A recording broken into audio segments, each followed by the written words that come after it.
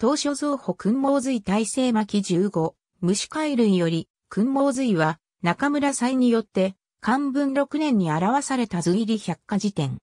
全20巻。初版は20巻からなり、以下のように構成されている。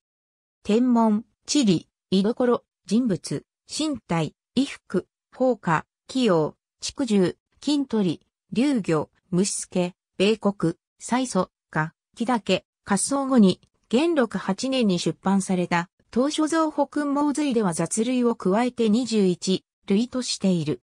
最初の版では、汎用を上下に分けて2枚の図を描き、その右に目を漢字で書いていた。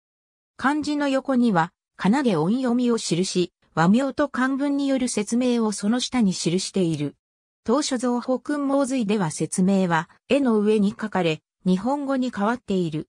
後世になると、複数の図を一つにまとめて、大きく描き、図の中に名称を書き、説明は上部に小さく書くようになった。後世の同様の出版物に大きな影響を与えた類書であり、江戸時代には、訓毛髄の名を付けた類書が多数現れた。公職訓毛髄、女用訓毛髄、人林訓毛髄、東土訓毛髄、議場訓毛髄など、西洋人の中には、訓毛髄を百科事典と称する者もいた。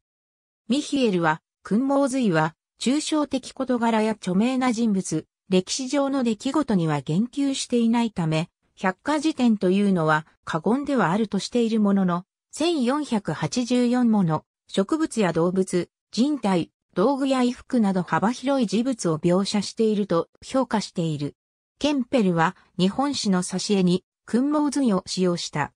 南方熊楠が7歳の頃に訓毛図を昼夜飽きずに読んだという逸話があり、十二思考でもしばしば訓毛髄を引いている。ありがとうございます。